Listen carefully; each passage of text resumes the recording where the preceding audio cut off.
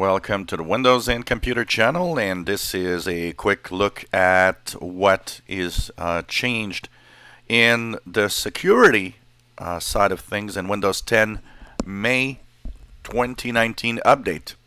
So everywhere there are some subtle changes in the May 2019 update. They might not look real uh, big and you know when you actually first go into the May 2019 update you might not see much of a difference. But there are some changes, and one of them is on the security app.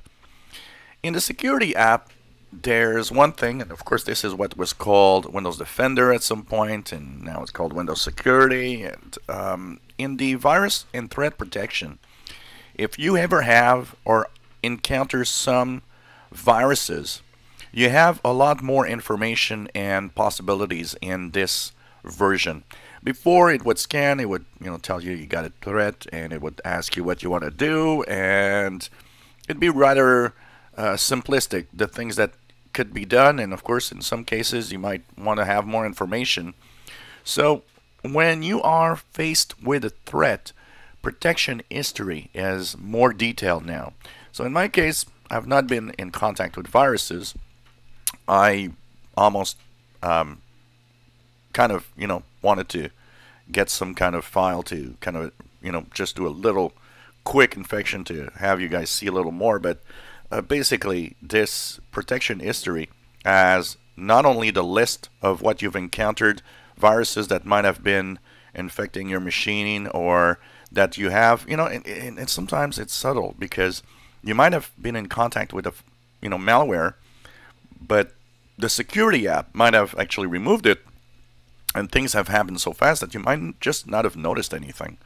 Well, here in the protection history, you'll see all the information, and it's important to know it exists because if you think you're safe, if you think everything's all right, if you, for some reason, haven't noticed that something might be wrong, the protection history will always give you a detailed list of what was encountered, the file that was infected, the, their location on your hard drive, and if you actually see it come a few times or if you see it multiple times, what's interesting is that you might actually get a pattern of, oh, when I do this, I always get infected with that thing. Uh, and, you know, it's nice to see what's happened. You'll also see either the actions that were taken, uh, was it removed, was it, you know, uh, quarantined, and so on. There's more details here than there were before and uh, hopefully it actually will make it easier for you to understand. Remember that security is your uh, problem. A lot of people say, well, you know, I use other uh, antivirus because I don't think that antivirus is good.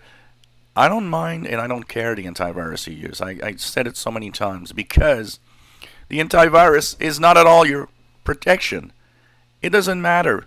You are the number one protection. If you got viruses, you're the one that's doing something wrong. It's not the antivirus that's the problem. And you got to remember that. And so uh, protection history is a nice little place to go. Once again, you go to your security app, uh, Windows Security.